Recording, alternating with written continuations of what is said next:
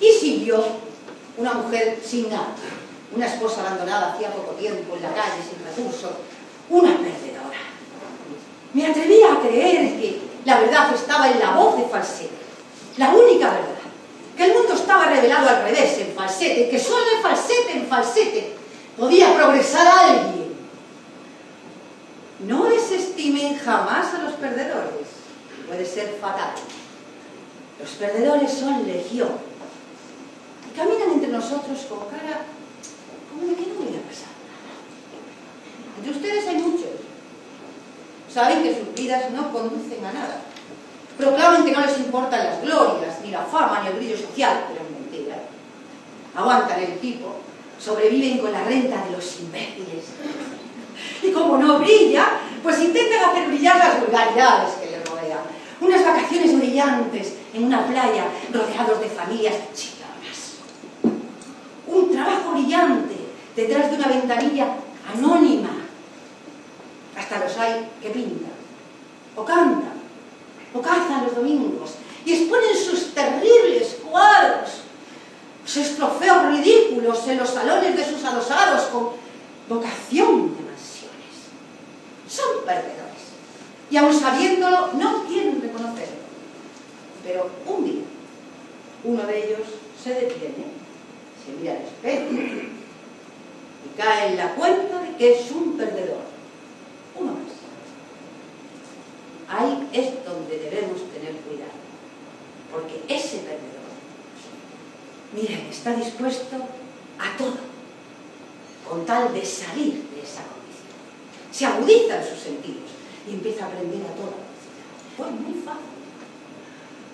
Roberto, cariño, o me pones una mesa en ese negociado, o cuento lo de la comisión de las armas. Ya les he dicho que el perdedor consciente aprende rápido. Claro que hay que buscar el momento. Y el momento elegido por mí fue una noche en un parador de turismo haciendo el amor como locos. De esas veces, como, como buscando algo. Bueno, yo sé lo que buscaba Roberto, porque todos los hombres buscan lo mismo, su propia condición. Pero yo buscaba, entre jadeo y jadeo, salir de aquella fábricas y de humos que aún me envolvía con su perfume Y cada vez que me sentía fuera de aquel paisaje, llegaba el orgasmo. Fue una noche increíble. Dormí como nunca había dormido. Pudo dormir. Fumó toda la noche. Se fumó su orgullo, su poder, sus habilidades dialécticas, se lo fumó todo pensando en cómo ponerme una mesa, una silla y un ordenador en ese negociado que creía controlar. Lo que no se fumó, porque no sabía nada, fue su humillación.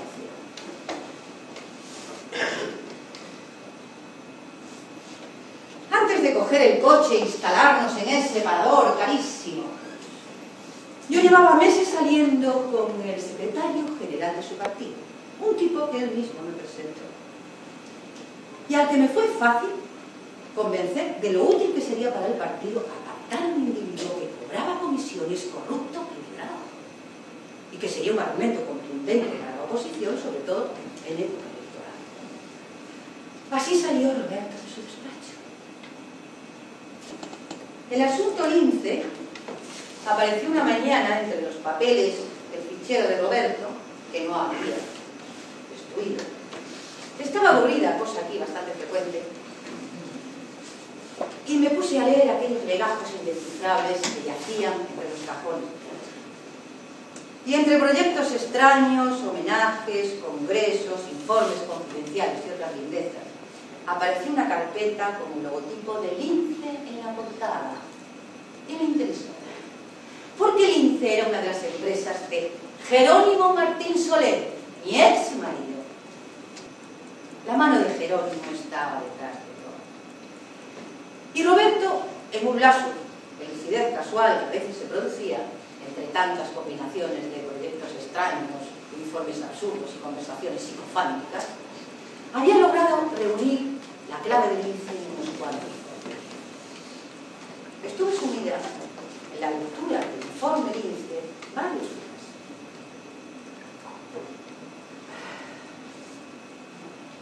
Y aparecieron nombres, muchos nombres, direcciones, cargos. Y uno de esos cargos el secretario general del partido, subrayado con lápiz rojo. Roberto, caótico en su trabajo, se había olvidado de poner el nombre del secretario general sobre la raya roja del lápiz, pero yo lo puse. Y una simple operación matemática me dio un resultado. Lince estaba financiando al partido y Vicente, su secretario general, cobraba comisiones millonarias a través de personajes supuestamente irrelevantes. Detrás de un irrelevante hay una bomba de relojería preparada. Y lo peor, no se sabe nunca ni quién ni por qué enciende la mecha. Imaginen que entra en su despacho un hombre calvo, amable, educado, que trae un proyecto para traducir al esperanto las ordenanzas municipales y pide 600 euros solo por el trabajo más su publicación. Una persona irreflexiva lo manda a la mierda, sin más. Pues lamentable el blog. Porque ese individuo puede, en un ejercicio para el que lleva años entrenándose, echar su mirada, desparramarla por el recinto y tomar en un segundo toda la información comprometedora que luego, y sin que nadie lo sospeche, es capaz de verter en otro compinche que sabe escribir cartas en el periódico como nadie y denunciar que en esa oficina hay un funcionario que mira páginas pornográficas en su ordenador laboral durante las horas de trabajo y ante la actitud negligente de su superior. Jamás, jamás debemos despreciar a los irrelevantes porque sencillamente no lo son.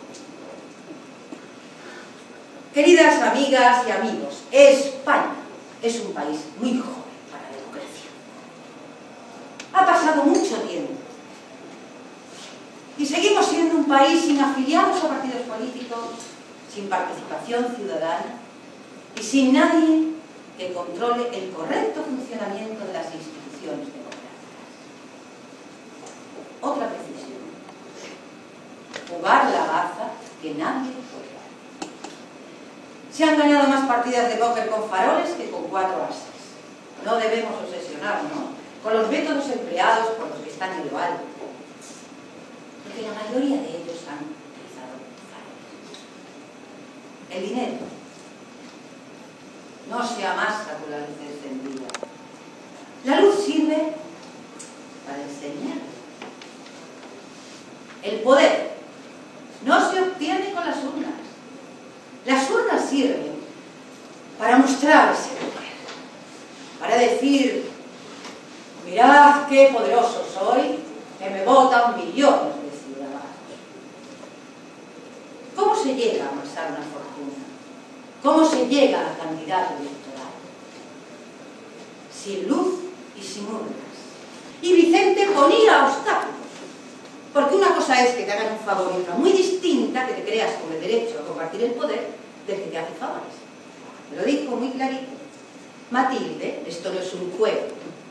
Partido no se asciende por deseos. Hay que comprometerse, hay que partir de abajo. Tú ya tienes un puesto interesante, pero te faltan muchas horas de trabajo, de calle, de sufrimiento. Vicente quería verme hacer méritos con una chapita del partido, sentada en una mesa electoral de barrio, que si era mi asqueroso barrio de nacimiento mejor, como interventora o apoderada, viendo cómo la gente metía el voto en una urna y esperando a recuento, o quería verme con una brocha pegando carteles con su cara de aguilucho por las paredes de la ciudad, que yo no digo que no sea un ejercicio sano y recomendable. Supongo que algunos de ustedes lo practicarán, cosa que respeto muchísimo. Pero miren, como respeto Madre Teresa de Calcuta o al inventor de la vacuna contra la rabia. Yo era una perdedora consciente, ¿recuerdan?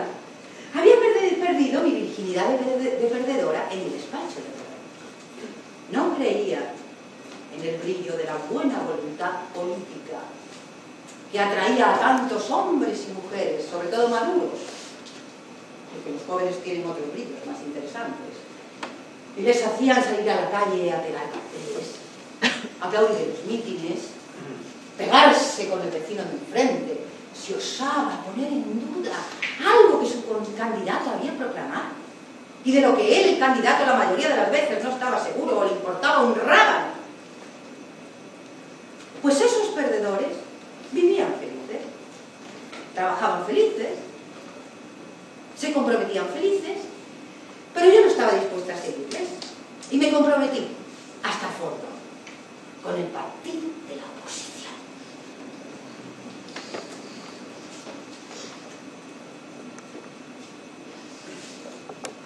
De ahí vengo. Y para salir de ahí, para quitarse una el olor a sulfuro, no sirve ni la lealtad ni los buenos sentimientos. ¿Alguien puede decirme la diferencia real entre partido y la oposición? Les pregunto por la real, por la que les separa día a día, por la que debería facilitar a millones de personas la introducción de una papeleta en una urna. No hablo de discursos ni de teorías, porque según esos discursos hace ya mucho tiempo que en este país todo el mundo debería tener una vivienda. Libros de texto gratuitos o un contrato laboral decente. ¿Y cuál es la realidad? Miren, yo soy una profesional. Una mujer a la que las circunstancias, el deseo de huir de una raíz podrida, la llevaron a hacer lo que hizo.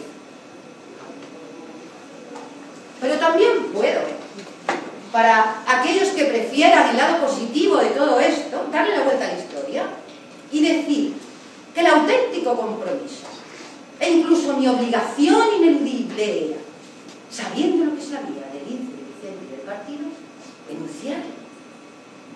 Lo contrario me pondría en una posición de cómplice ilegal e igual de corrupta.